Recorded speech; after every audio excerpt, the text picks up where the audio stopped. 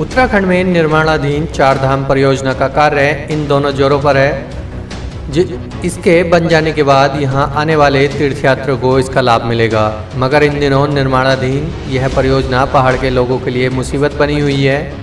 ठेकेदारों की मनमानी व अधिकारियों की लापरवाही के चलते इन दिनों निर्माणाधीन सड़क कटिंग से उड़ रही धूल यहाँ के मुसाफिरों के लिए मौत बनकर हवा में घुल रही है।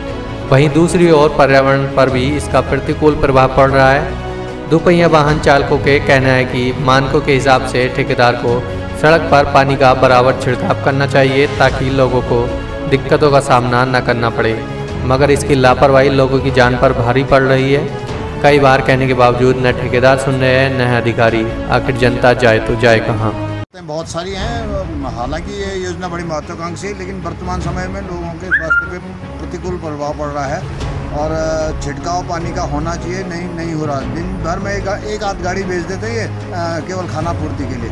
और इससे आने जाने वाले और गाँवों को धूल दाल से बड़ी दिक्कत हो रही है और इस संवेदनशील वक्त पे पानी का छिड़काव तो होना ही चाहिए। पर्यावरण को भी इसका नुकसान बड़ा पर्यावरण पर्यावरण तो इन्होंने सने हुए हैं पेड़ पौधे उस धूल से।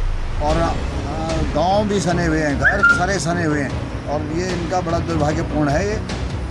तान सिंह नेगी।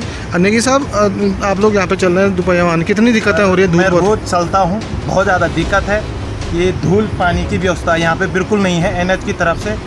10 मिनट का जाम जो है ये 20 मिनट आधा घंटा एक घंटा तक जाम ले रहे हैं।